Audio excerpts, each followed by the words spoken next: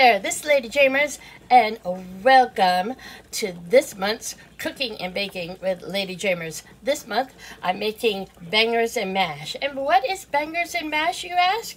It's basically sausage and potatoes. This is the mash, and this is the banger.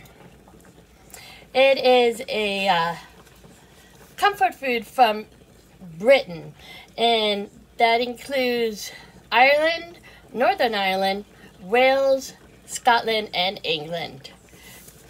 The term bangers are supposedly originated during World War One. There was meat shortages, and the sausages would actually explode because they put water in with all the other meat fillers. And I have to tell you that it was another meat shortage that got me started on making bangers and mash a lot more than I ever did before. That was the pandemic. I noticed that sausage was easy to make and it was cheap. Now, I have to admit, never really made it before the pandemic because I was basically afraid of uh, explosions. Not the explosion of the sausages per se, but explosion of the grease. And I have found a way to combat both of those. And that's what I'm going to show you in today's video.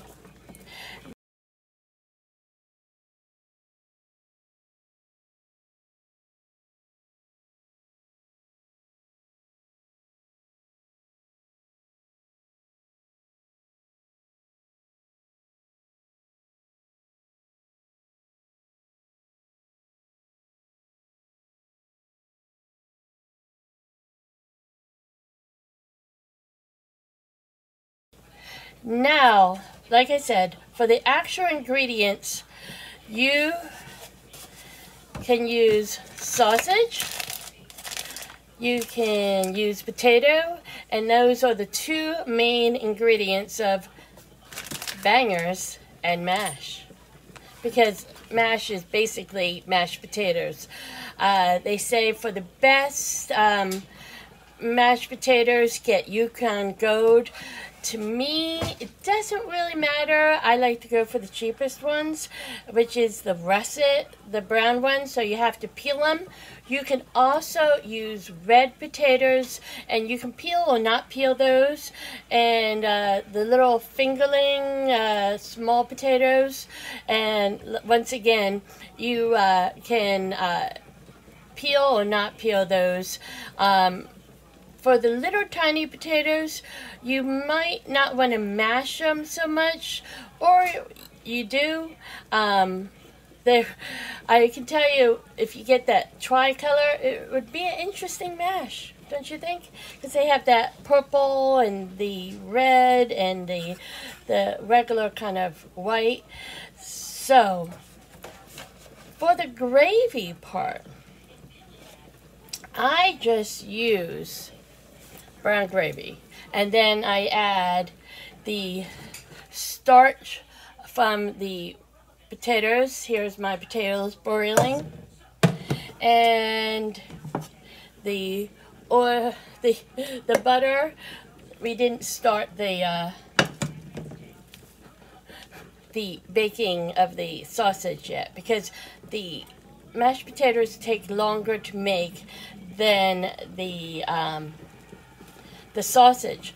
But I do have one way that you can also do. You can microwave your potato and then mash it. And when you're mashing the potatoes, you want milk, and if you really want to be decadent, use heavy cream. And then use some butter and salt and pe pepper and away you go. Easy comfort food. I'm going to show you the actual ingredients at the end of the video. And um, I'm doing the ingredients for uh, two people. I have uh, more sausage because what I'm doing is you do a sausage link about yay big for for one person. Now, if you're making a real meal of it, like big meal, use two sausages. Uh, for mom and I, I'm doing uh, one sausage for our lunch because I'm doing this in the daytime, and one sausage for work at night tonight. And I'm splitting the fourth sausage in half and uh, do it evenly amongst the two lunches and the one dinner. So we will be right back. Um, I am doing, I'm charging my gimbal. I uh, let that accidentally be put away when it was on and I thought it was off. Oops. So, we'll be right back.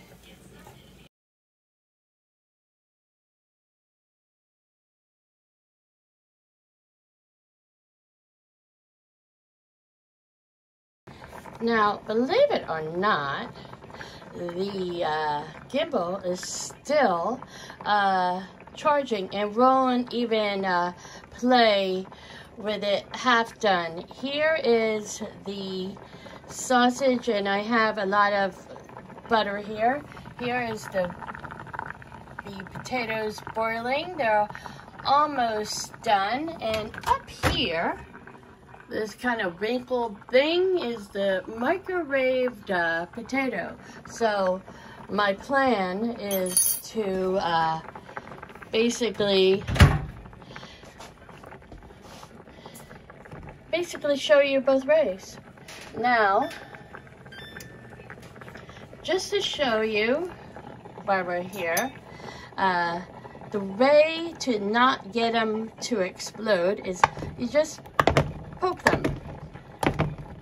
And I have found that you can poke it with a knife, you can poke it with a spoon, well, you can't poke it with a spoon. Uh, and um, you can use a fork. I meant fork, not a spoon. And I can tell you that uh, basically this uh, video is like all of my videos. There's always one little hitch going on. Today's hitch is the gimbal. And me saying wrong foot. Now, as you can see, what is better to poke? The knife. So, like, do three or four little pokes. I, uh, as you saw in the picture, I get a big thing of country sausage, and then I cut it in links, and that big, uh, round of country sausage usually makes about three or four different meals. And normally I would do this as two meals, but I thought for this video, I would do basically two meals from these four sausages and potatoes to make bangers and mash. Another little tip is, you know how I was talking about explosions of grease per se? This is how you do about not getting explosions of grease. Make sure that you poke it and then you put the, the cover on. The cover will uh, make it so that the grease doesn't hit you and also helps to uh, have the food cook from within. And as you can see on the little cover, the all the grease is hitting the the lid. And uh, you cook it on one side until it's uh, brown. Now, I've noticed it's better to cook when it's between brown and black per se That way you get a better crust and um, you're sure that it's cooked all the way through. The steam from putting the cover on also helps cook it through and then you put the water uh, in there to create more steam and it helps to cook it through and not make it so dry and then you take out the uh, sausages and you make the gravy right in here and I will show you that in a moment. We're doing the gimballess cooking stream by Lady Jamers. And the potatoes are done from when I first started to do this video. How you can tell your potatoes are done is you just fork it and if it comes apart, it's done. If it doesn't come apart, it's not done. And um, also, it takes about, I'd say, 20 minutes to do potatoes. Uh, remember, salt like the sea. And then your potatoes will have a lot of, uh, you know, taste and all and won't be bland. And then you add some butter and milk and um, put the, don't forget to drain this. And you put all the, uh, like, drain, you know, water into here. And that's what makes the gravy. Now, on this, when do you know to, you know, flip the sausages? Basically, you're be able to tell by uh, smell, believe it or not. Uh, you smell them actually cooking, and then um, you flip them. You also can wait like two minutes, put like uh, about two to three minutes on one side, two to three minutes on the other side, and voila, your sausages are done because you are like steaming them from within. And there you go. So let me take this off. You have to watch. And I like to flip them with a fork. Now, right there, that is starting to get done. But it's not done yet. So what I like to do sometimes is I like to flip them a couple of times to make sure they're actually done done. Um, I usually do only two at a time, so it's easier to uh, flip. Now, that one, know, all these other ones are like especially that one. I have one spot of the stove that is not that hot and then the other spots are. So that is why that happened. Plus, you, uh, it's another reason to flip more than one time. You get the top, put it on back on, and we will be right back.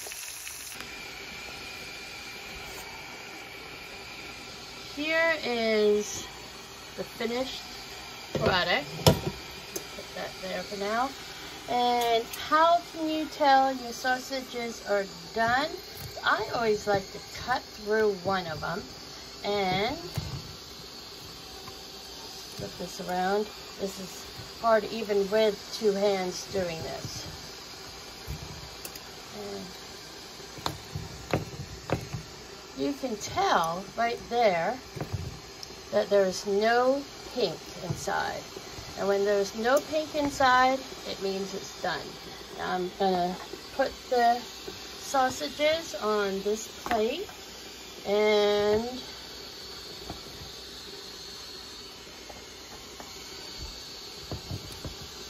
then we're going to make the gravy now. There we go. This one right there. And now for the gravy. Wish me luck on doing this one hand. Okay, so basically you pour in some of that and you don't want to do a lot of the juice because then your uh, gravy will be too watery. And if you want to make it even more kind of beefy, add some beef broth. And we add that to it. You can also put some onions, mushrooms in here if you want. And now for the brown gravy. You can also make your own brown gravy. I find this is the easiest. How much? Uh, I never know. I just eyeball it. And one sec.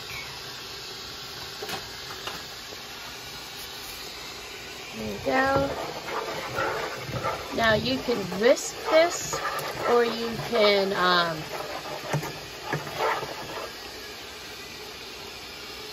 put a wooden spoon if you have a non-stick uh, and this is where you do the uh, it in the in the fry pan because the fry pan has all the little juices. Now that clumps is the brown gravy because I will tell you, you always, uh, well, I always have it go into clumps. Uh, there's science behind that. And the more you store, the more it goes. Now you can add a little bit more of this kind of juice if you have it. And if you don't, you go over here to your teapot and pour some of that in. I'm making a tea for mom and I. What more better to have with your bangers and mash, there's bangers, there's mash, Then having tea. So as you can see, the more water you put in, the more liquidy it gets, but also you don't want to put all the water in at first because then your gravy won't really have time enough to uh, cook. And I like, when I'm doing bangers and mash, I kind of like my gravy to be more on the thinner side than on the thicker side. So let's let that store. That's basically the consistency that I want. And put this aside. And we'll turn off the stove. And next up is the uh, making the mashed potatoes. Now, I strained the rest of the uh, water off. Now, here's the microwaved one, and here's the on the stove top. Which is better? Honestly, in the long run, uh, if you have some time and patience, doing the old-fashioned way is better.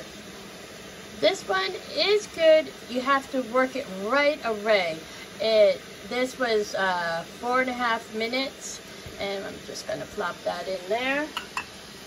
We are going to add butter, at least one tablespoon. And a lot of people like to uh, put cheese and garlic in their mashed potatoes.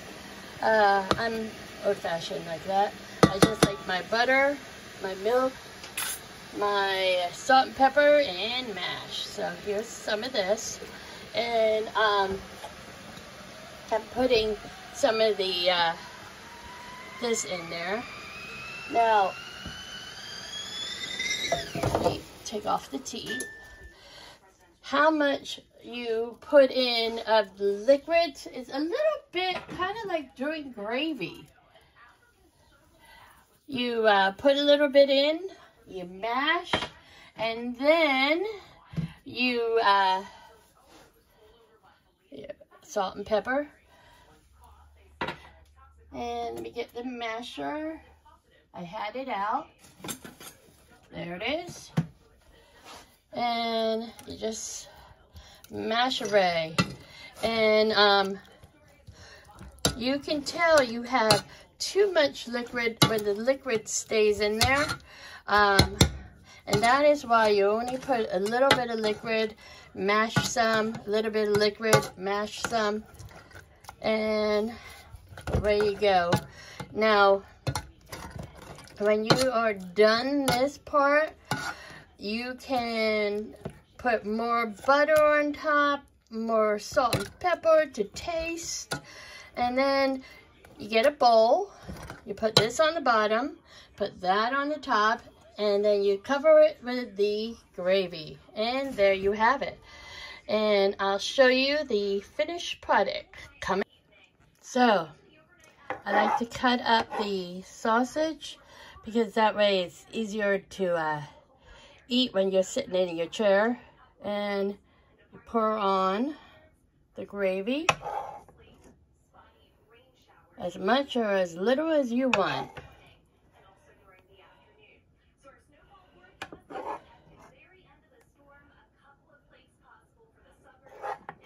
And there you go. and sorry for getting off of the uh, subject. Like I said, we're doing this video gimballess. Next up is the taste. So here it is, bangers and mash. It's been an interesting video doing this uh, gimballess, but that doesn't mean the food doesn't taste good. I love country sausage. And the potatoes came out so nice and creamy. You have to try this for yourself. Bangers and mash is easy, economical, and more. So, it's the ultimate comfort food. Now, I want to uh, show you the uh, the ingredients after this part, plus also a bonus. I did another intro and um, and I messed up on a word, so I wanted to redo the intro and I messed up on a word, so I redid the intro over and over and over again, which is why you saw that little disclaimer between the two uh, that I'm going to put there. So, like I said, get Bangers and Mash. It is so good. Uh, country sausage, brown gravy, mashed potatoes. How can you go wrong? Lady Jamers saying have a great day and we will see you later.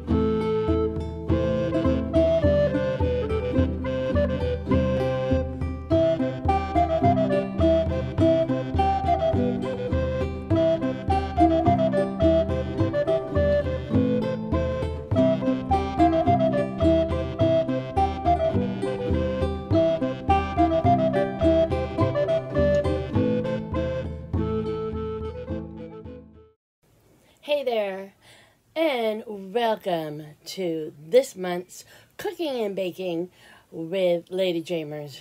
I am doing this in two little parts. Uh, basically, um, I'm doing this before this part before I'm cooking because let's face it, I'm being lazy and um, didn't want to switch change out of my sweatshirt, which I go to the gym, but my cat needs me and right here is my cat. He needs me. So, this month is about bangers and mash. And I'm doing it for uh, St. Patrick's Day, but it's also a British and Scottish dish. And why I'm reason I'm doing this in two parts is that I wrote down some stuff about it and I wanted to tell you. And um, during the actual video, I'm going to be wearing my green ears with my St. Patrick's Day uh, bow.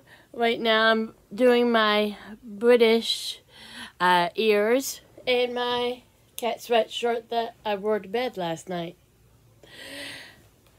So, here we go. After a minute 40. Bangers and mash is sausage and mashed potatoes. It originates from Britain as well as Ireland, Scotland. And yes, I am doing this in my bedroom in front of the window. And cat saw something. It's the ultimate comfort food that is normally served with onion gravy. I personally make it with brown gravy with the grease of the sausages and the butter. It, like I said, bangers and mash is the ultimate comfort food. The term banger supposedly originated during World War One because of meat shortages. The that made the sausage explode because basically instead of all meat in the sausage, they put other fillers and that made the sausage boosh. And uh, when it was cooked. Being a British descent, I have always liked it, but didn't make it that much for myself before the pandemic, to be honest truth. Uh, mostly to the fact that I was uh, slightly afraid of cooking sausage, not for the explosion factor, but for the grease factor. And um, I have found a way to make it so you're not splattered with grease and today's sausages. You don't have to worry about the explosion factor unless you get really cheap sausages. So, going back to why I started making it, as we all know, during the pandemic, supplies were low, and you were lucky if you could get, you know, meat. And I saw our local giant had, uh, the sausages were a good price. So, um, what are you doing? Um, so, anyway, I love country sausage. You can use any sausage for this. Um, you can use bratwurst. You can use uh, what they call um, is the Country Joe's actually has what they call a uh, Irish banger which is basically still country sausage. The ingredients are very little in there. Uh, you can do this with Italian sausage, but it gives it a whole nother kind of taste. It's not really uh, British tasting, which um, before I went to Britain in uh, 2005, was it? Yeah, I went in 2000, um, 2000, but in 2005 I went with my sister and niece, and we really did uh, the food of England. And we were told that the food was very bland, and uh, I guess it's because we are of English descent. It's not bland to us. It's perfect. We love it. And um, so, going on this rant, or rambling as I should say, with Oliver by my side, uh, I say you should try bangers and mash today, and I will show you how to make it. Here's a picture of the ingredients for bangers and mash right here. And then we are on with the show. Be right back.